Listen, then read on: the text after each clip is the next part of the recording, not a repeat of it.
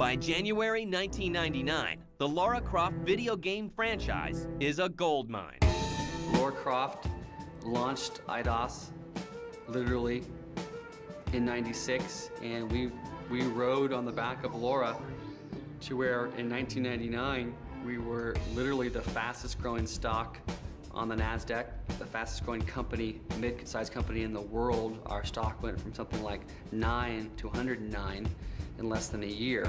Lara is a fantasy. She is what everybody wants to be, boy or girl.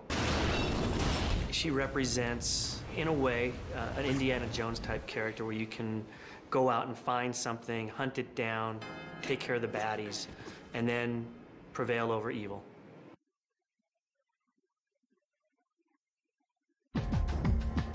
Eidos stock is soaring thanks to strong Christmas 1998 sales of Tomb Raider 3.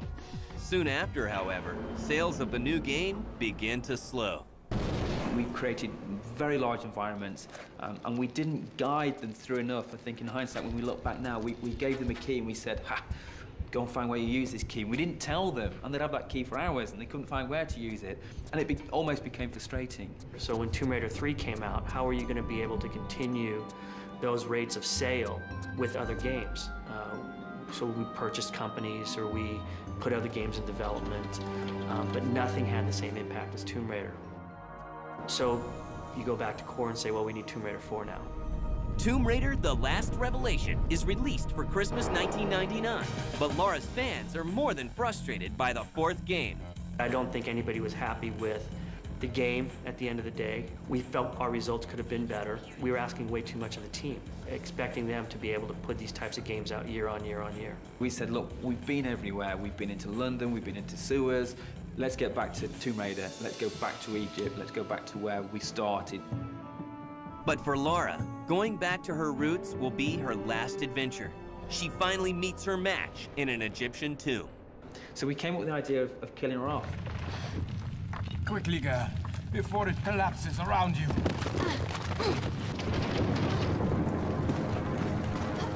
We also thought we'd get a holiday if she wasn't around. We always thought that the consumers never believed for one moment we're going to kill Lara off. But it gave us a clean slate. Although sales for the shocking sequel don't reach earlier records, Lara's fans do show up to bid her a final farewell. I mean, everybody can say, well, it wasn't that great a game, but then you look at Tomb Raider 4 and it still sold multiple millions of units. So it couldn't have been that bad. You know, the end of The Last Revelation was an important sort of milestone for us because that meant that the next generation games were being developed and being worked on. For years, the debate has raged over which actress will play Lara in the long-anticipated feature film. And the winner is... What was the most gratifying part for me is seeing Angelina Jolie portray those exact same qualities. You know, Angelina herself is like that, from what I've heard, but she certainly portrayed Lara Croft in that way, that she was a, kind of a take-no-prisoners gal, and that's Lara Croft. In a pleasant... So the ponytailed heroine lives on, at least in some sort of alternate universe, and in the hearts of fans worldwide. What does Laura represent? I think somebody that, that really knows her mind. She really has a zest for life. Laura Croft was not only a, a video icon, she was the digital diva and still is for all of computer technology. Even today, we've seen lots of the games come and go. They're always going to be the next sort of Lara Croft replacement, and still today she, she reigns supreme. She is the industry icon for the next generation of hardware. Just now. Lara Croft is kind of a role model for women out there who find themselves sometimes in, in a male world where they can say, you know what, I, I'm my own woman. I don't need men. I make my own rules.